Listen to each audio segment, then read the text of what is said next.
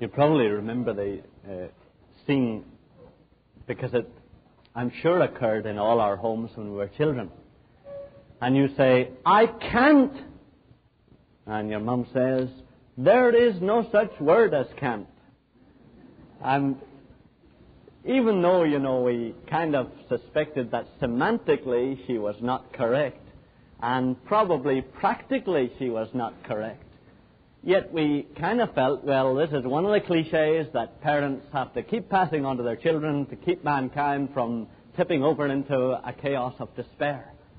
And so we kind of accepted that. Okay, okay, I can't. I know there's no such word as I can't. And every time I say I can't, I must remember there's no such word as I can't. So I should translate it into basic English I am not able. No, but I can't. So we would say, all right, all right, there's no such word. And yet, loved ones, you admit that ever from your childhood days, your own life has probably been plagued with the reality of that word. Because how many times have you and I said, I can't. I can't stop eating the things I'm not supposed to eat. I can't stop swearing. I want to, but I can't. I can't stop drinking Coke. I can't stop eating ice cream.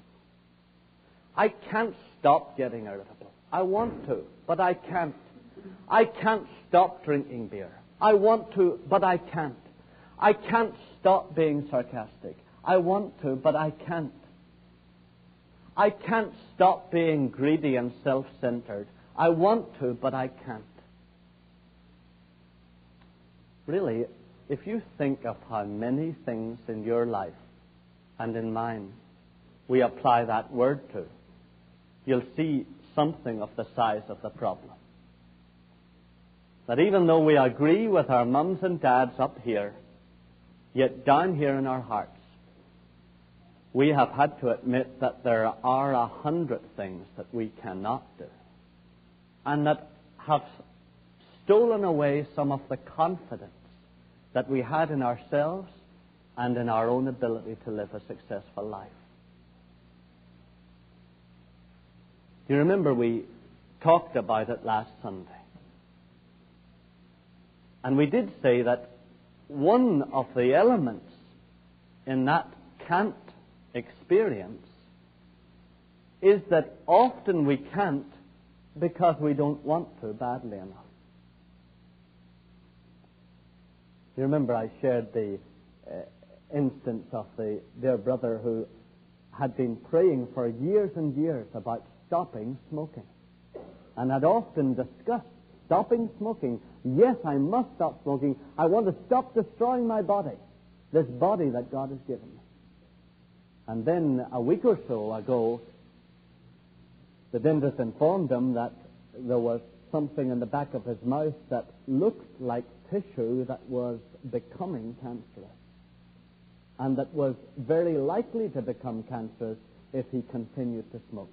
And suddenly, it wasn't just a case of a, an annoying, expensive habit that he had, that it would be a good idea to stop if he could.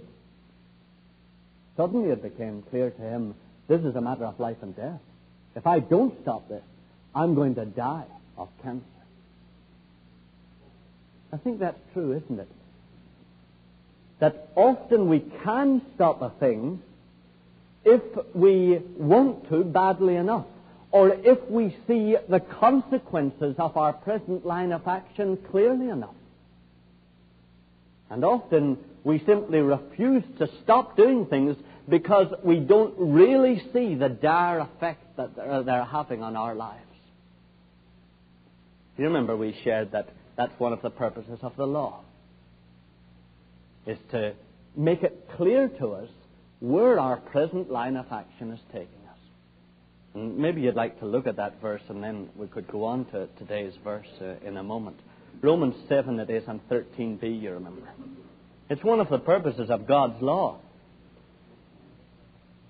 to really reveal to us the deadly consequences of the things that we're now doing.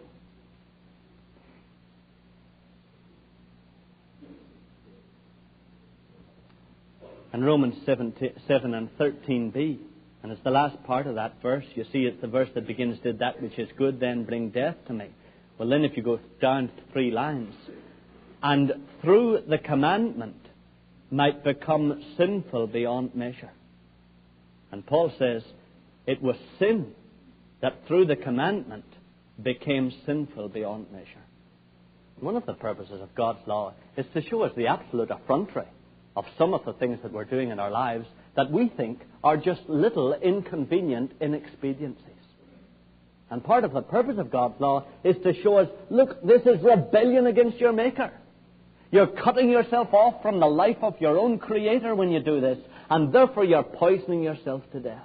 Do you remember we looked at oh, one or two of the instances like that in our lives? Some of us, I think, have often experienced homosexual tendencies. We don't practice homosexuality. There's no overt act. But many of us have had drawings at times to people of our own sex. And often we say, I can't, I can't turn from it. I can't stop it. It's just part of me. And really, loved ones, often we say that because we don't see the light in which God thinks of that kind of relationship. And you get it there, you know, in Leviticus 20 and 13. This was one of the verses we looked at last day briefly. Leviticus 20 and 13.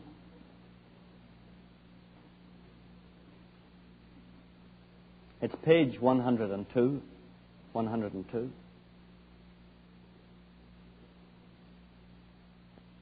If a man lies with a male as with a woman, both of them have committed an abomination. They shall be put to death. Their blood is upon them.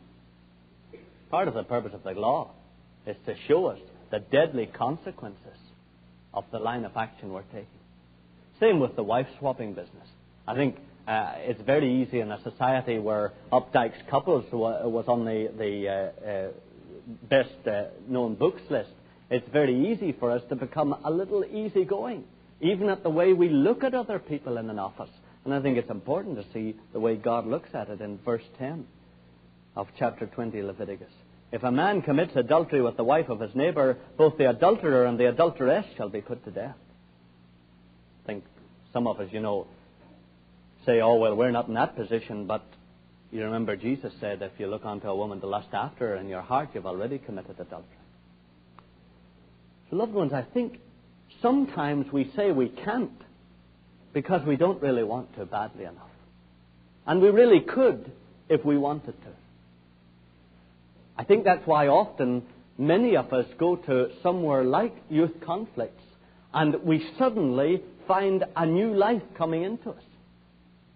Because old Bill Gothard is used by God often to show you, look, you either do it or you don't, and you die in the process. And loved ones, often I think our can't is based on the fact that we don't really want to badly enough. Nevertheless, I think all of us would be prepared to say, yeah, I've experienced that.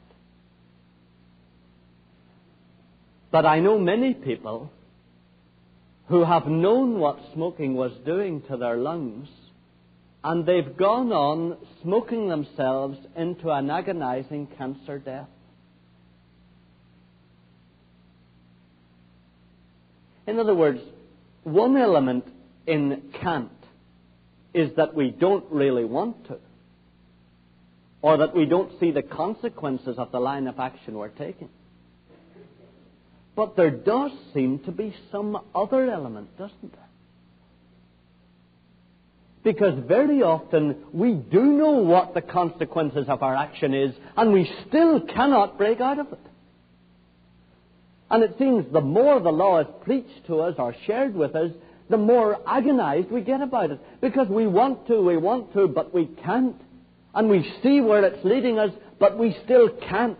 We can't stop swearing. We st- can't stop being promiscuous. We can't stop being unclean. We can't stop this habit, or we can't stop saying those things. And so it seems that, yes, part of the can't is that we don't see the consequences of our actions, or that we don't really want to badly enough. But there seems to be another element it. There seems to be something else inside each one of us that makes us say we can't, even after we've seen where our can't is going to take us. Old Dostoevsky talked about it, you know, in almost every novel he wrote. But here's the way he put it in, in one of them. A man will talk to you with excitement and passion of the true normal interests of man.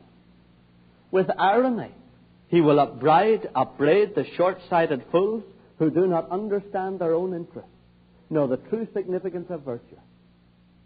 And within a quarter of an hour, without any hidden outside provocation, but simply through something inside him which is stronger than he is, than all his interests, he will go off on quite a different task that is, act in direct opposition to what he has just been saying about himself, in opposition to the laws of reasons, in opposition to his own advantage, in fact, in opposition to everything.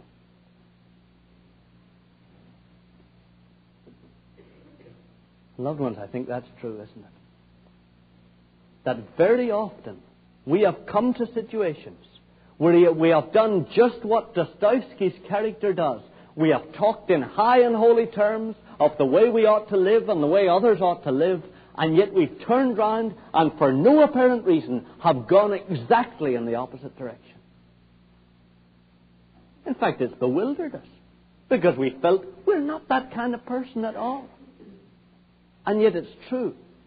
Dostoevsky says the only reason a man will act against his own best advantage is to get his own way. And isn't it true that even if it means smoking ourselves to death, even if it means drinking ourselves into a situation where our liver is worthless, whatever damage we're doing to ourselves, often we will find that there's some part of us that still wants to go on doing that. You remember old Stevenson put it on paper better probably than anyone when he wrote the fable of Dr. Jekyll and Mr. Hyde. And Jekyll was a respectable doctor until he drank this potion. And then you remember out from inside him there came a Hyde that could sadistically and indiscriminately commit murders and had none of the respect for humanity that the Jekyll had. And loved ones, doesn't it seem that at times when we say we can't, there's almost something or someone else inside us that's saying that. In other words, the problem isn't with the doing. The problem is not just that we do stupid things or we do wrong things. The problem is not just that we say unkind things. The problem is not just that we think unclean thoughts. It's not the doing that's the problem. It's the being. There's something being inside us that seems almost apart from us. There seems to be something or someone inside us that persists in being willing to do the very thing that will even destroy our own lives. And loved ones, that's really the problem that Paul is beginning to deal with in these next verses. He makes that same point. He makes the point the problem with your can't in your life is not your doing, it's your being. It's something to do with the kind of person you are. Now, maybe you'd look at it. He puts it just very straight and plain and easy to understand. It's Romans 7, Romans 7 and verse 14.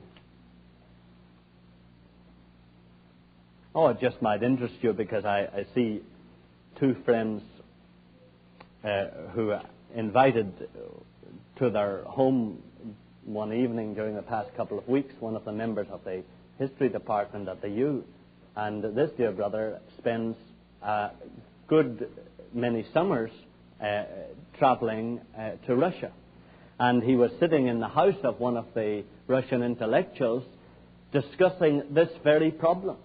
How we seemed as men to want to do the right, but there seemed to be something else in us that was doing the wrong.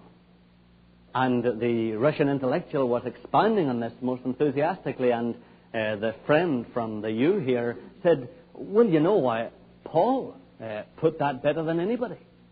And the uh, Russian said, Really? Where? And uh, the friend from the U said, Do you have a Bible? And the old Russian intellectual went behind all his books and right down the back of the bookcase and brought an old dusty Bible out, you know. And uh, this brother didn't know if he'd be able to find the right verse, but he at last found it. And of course, the Russian was just amazed, you know, and said, This deserves a footnote at least in my book. But it,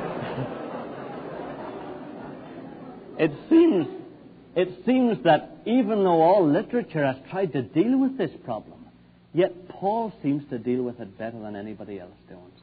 And here's the heart of it it's Romans 7 and 14. Romans 7 and 14. We know that the law is spiritual. And then you see the next line. Not, but I do bad things, but I say some unclean words, but I think some impure thoughts. No. But I am carnal, sold under sin. Loved ones, it's back to the being problem. In other words, part of the problem that we have with can't is we're not just underestimating the evil consequences of our line of action or our behavior pattern, we're underestimating the problem itself. We keep thinking it's just a matter of changing my habits. I just have to change my habits. I just need to think more positively about myself. I have to think more positively and optimistically about life.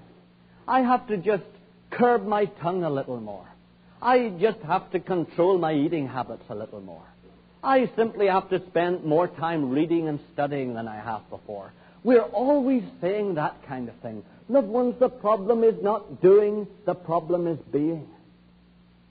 We're underestimating the whole problem that it's because we are certain kind of people that we do and say certain kinds of things. See, it's like having a disease, like measles. And the old spots are coming out there. And you're saying, I must get rid of those spots. Okay, try the old white paint. And it breaks and cracks. Try the old sandpaper.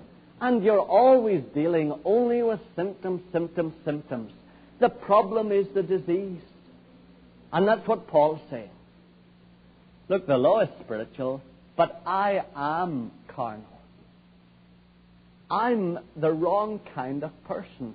That's why I want to do the wrong kinds of things. See, we're fools. We like to think, no, no, Pastor. No, I'm not really like that. No, no, no, I just lost my temper, lost my temper. That's once I lost my temper. I'm not really bad tempered. No, no. Now, I was a bit sarcastic there. Yeah, that's just once I was sarcastic, but I'm not really sarcastic. Yeah, well, that was an impure thought, but I'm not really an impure person. I'm really very pure. Yeah, I did laze around yesterday, but I'm not a lazy person. I'm, and loved ones, we're always bluffing ourselves, you see. And that's why we get into such trouble. Because we keep on pretending that this is only a superficial little behavior pattern that we have developed and that we can wipe out ourselves. And the whole agony of it is we try to wipe it out ourselves. Because we think we can. Because we think it's a matter of doing and not being. Oh, Paul says, I am carnal. Jesus comes right down the same line, of us. Really? Just look. Uh, it's, it's in Luke chapter 6. And Jesus lays it down right in the same place. Luke chapter 6. And it's page 895 in that uh, black RSV. Luke 6 and verse 43.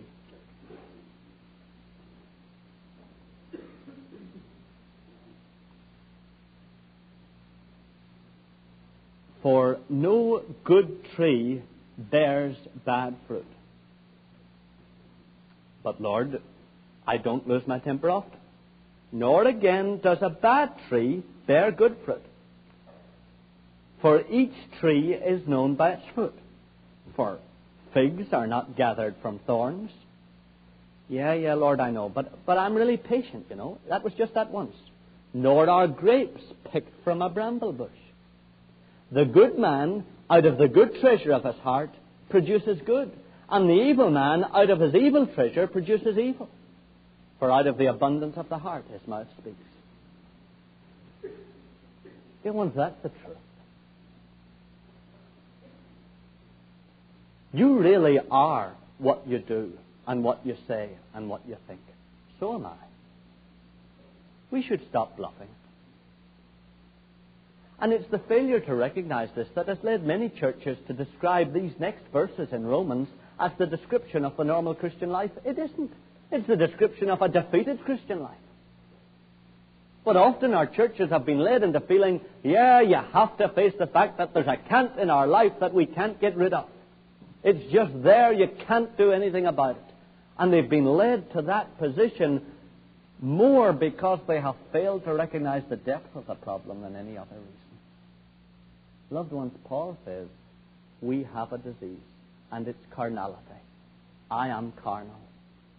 That's why I get bad tempered. That's why I lose patience with people. That's why I think unclean thoughts. That's why I say bad words. That's why I'm sarcastic with people. It's not because inside there's a pure, holy saint that is just imprisoned in this terrible outside. No.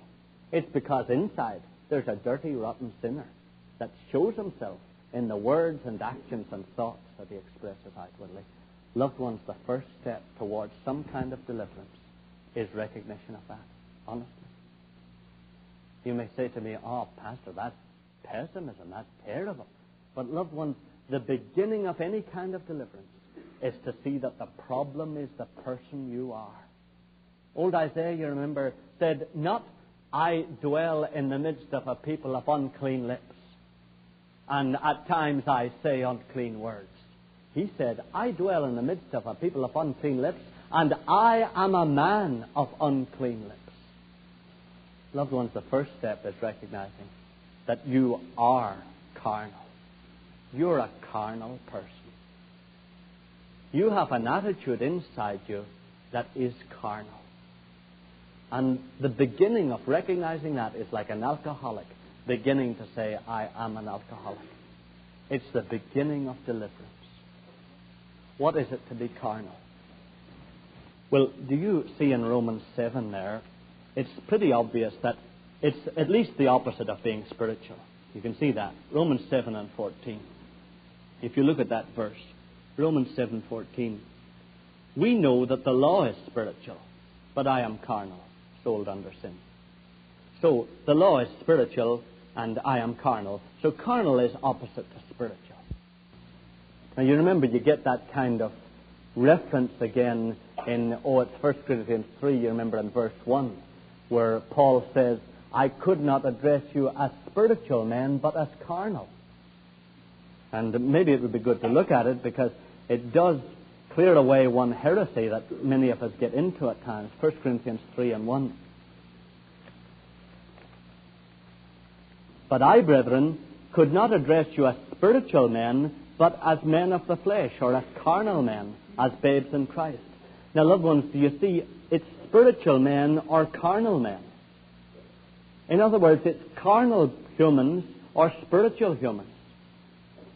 It's not carnality as opposed to humanity.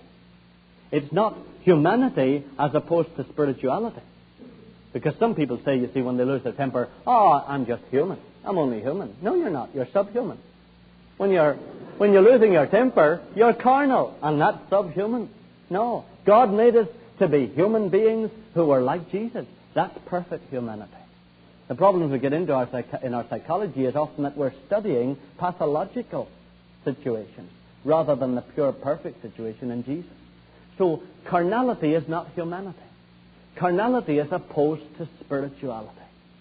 Now, think for a moment what it means when the, it says the law is spiritual. Well, the law is spiritual in that it's directed by God's will.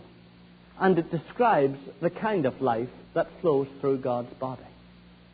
So it describes the kind of life that God and Jesus live, and it's directed by their will. Now, carnality is the opposite. Carnality is a life that is directed by the sarx. And those of you who know Greek know that sarx is one of the words used in the Bible for flesh, or in the Greek language, in the classics, for flesh. But it's not simply flesh in the sense that soma is. Soma is body, you know, psychosomatic diseases. Soma is the normal Greek word for body. Sarx is body being dominated by itself. In other words, when Paul says, I am carnal, he means I am dominated by the needs of my body. I am dominated by the need for hunger. I am dominated for the need to enjoy myself. I am dominated by the need to get my own way and to rule over myself. And when those things begin to dominate in your life, then the hunger turns into gluttony and the sexual procre- procreation turns into lust and the self defense turns into self deification. And so, what Paul is saying is, I am dominated by the outside needs of my body and of my relationships with other people and of my relationship to the world. I'm utterly dominated by those things. I'm driven by those things and not by God Himself. That's what it means to be carnal. It means that your life is dominated by what other people think of you, by what you need to do to get yourself forward in life or in your career, by what you need to get enough clothes for your back, by what you need to do to gain some kind of influence over other people. That's carnality. When Paul says, I am carnal, he says, I am driven by the needs of my body, the needs of other people, the needs of the world, but not by God. And loved ones, that's why we're such a mess. Because that's our nature. God's law is spiritual. It's directed by the Father's will and by the Father's desires. Our lives are directed by the things we need to do to defend ourselves against other people, to get ourselves up on top of the heap over above other people, to satisfy our bodies both sexually and physically and food wise. That's what carnality is. I am carnal. I want to satisfy these things independent of God. And our problem is our carnality.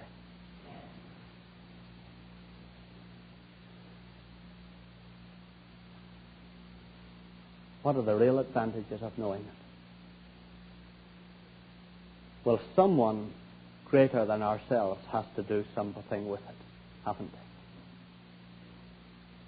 If my problem is my nature, then I can't change my nature. I'm an Irishman and I cannot change into an American. I can do things that Americans do. Maybe after 40 more years I'll have an American accent. But I still won't be a Native American. I can change citizenship, but I won't be a Native American. You can't change your own nature. If you're a dog, you can't change yourself into being a man. If you're an American, you can't change yourself into being a German. The only person who can do that is someone greater than you, someone more powerful than you. Loved ones, that's a great step to take. To stop patching up. A patch here, a patch there, a little bit of self-discipline there, a, a new book. Uh, oh, you know, if you're if you're okay, I'm okay. That was a great help to all of us. Another little book that gives us an extra little dynamic and gives us a little more control than we had before. Loved ones, stop doing that and see if it's my whole nature needs to be changed, then somebody greater than me needs to do it. That's one tremendous advantage. Another advantage is this it stops the striving and the straining. It does. It stops you trying to do it yourself. It stops you trying, you stop trying, all right, I must try, I must try, I must make myself a better person. And you change completely and you begin to express trust and obedience to this person. It's like an operation. Appendix. Ever taken out your own appendix? It's tricky. No, you couldn't. you couldn't do it. If you have appendicitis, you decide someone greater than me has to take care of this. So what do you do? You go to a surgeon that you trust, And you say, whatever you want me to do, I'll do, and I'll trust myself to your power and your skill. It's the same with this business of carnality. Loved ones, once you really admit how bad you are, once you really admit that it's your nature that has to be changed, then it stops all that striving and the straining. No trying to climb up onto operating tables and trying to get the knife pointed at the right spot on your tummy. No more of that. Just a trust and an obedience, a saying, Father, this is me, just as I am. And I am carnal. And this is the way I am. And I keep being dictated to by forces other than you. Lord God, I'll do whatever you tell me if you'll change this. And loved ones, that's the beginning of deliverance. During the next Sundays, I'm going to try to talk at depth, in depth about this. But that's the beginning of deliverance. Stop pretending. Stop pretending you're better than the rest of us. Stop pretending you're better than what Paul said he was. Stop pretending that you're really very saintly deep down. Admit, loved ones, you're just a carnal person. And unless God changes that, you're going to have trouble with the stuff that comes out from inside for the rest of your life. Now, you know, I just I want to encourage you, even though I can't go faster than Paul takes this. I want to encourage you that there is just a great deliverance from that. But the basis of it is what I came to nine years ago in my own life. I am this person. I'm not just really good underneath with a few little bad things that I do in my life. I am really carnal and evil inside. That's the start, loved ones. God can change that. That's the beauty of it of it. Uh, if you can't wait for next week, then you should read The Normal Christian Life by Watchman Nee, or a little tract that I wrote, Free to Live Through Death to Self. And better than any of those is just ask God.